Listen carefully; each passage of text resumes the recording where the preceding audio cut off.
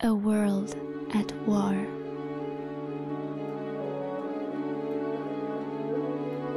Another worldly threat. To face it, we must find her.